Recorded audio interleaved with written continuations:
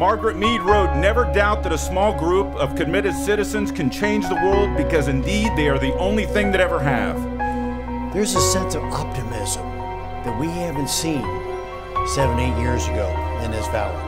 Shelley Moore Capito, who will yet again make an economic development announcement that will make another vision a reality, as she has done for so many communities in West Virginia. Thank you.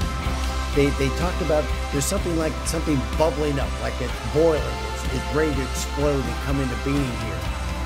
But there is some environment that's, that's happening. It's from the leadership, this vision of Pat Ford Bill and the whole team is making something happen here. Got a great vision. It's right here. We're ready to move. Sure. It's a beautiful day in this neighborhood. The book of Proverbs, chapter 29, verse 18 reads, Where there is no vision, the people perish. Because of vision and the collaboration of all of you here today, our community will be able to celebrate life and opportunity for years to come.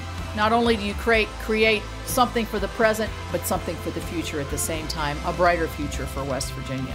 It's the vision of the city leaders and the county leaders and the regional leaders to, to say that we can recreate and reform and uh, build out a better future, and that's what the EDA is doing here today. So I'll leave you with this quote from President Kennedy Change is a life, and those who look only to the past or the present will miss the future. So thank you for being here. This is a big day for the city of Weirton, and we've only just begun.